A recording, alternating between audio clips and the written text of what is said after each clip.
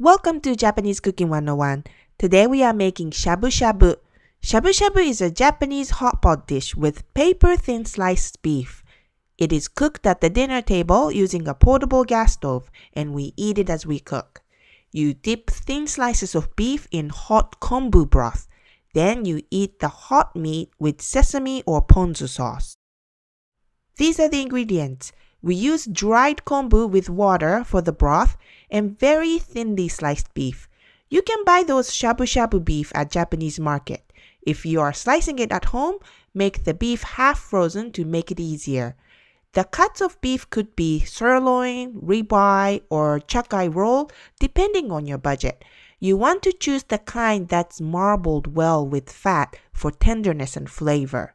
Besides the meat, we also add some vegetables such as napa cabbage, white long onion, kikuna or shungiku, and shiitake mushrooms.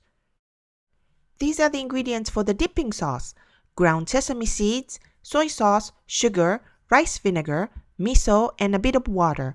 We are making sesame sauce today, but you can also use ponzu sauce for a more refreshing taste if you prefer. For exact measurement of the ingredients, please visit our website, JapaneseCooking101.com. We add all of the ingredients for the sauce in a small bowl and mix well, and set aside. We soak the kombu in the water in a pot and let it sit for 15 minutes.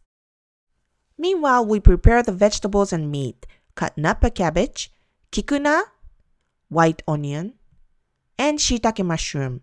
Take the stem off of shiitake, and if you want, you can do a decorative cut like this. Slice the meat, and have everything ready on the table.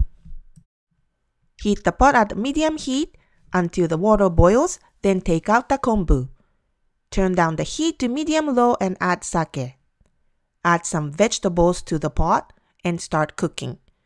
You can then dip the meat in the simmering broth until the color turns pink. Dip the meat in the sesame sauce and eat right away as you cook at the table. Shabu shabu is not only tasty but also fun to make at home. If you have any special occasions or just want to celebrate an everyday dinner, get right cut of beef, slice it super thinly, and have tasty shabu shabu.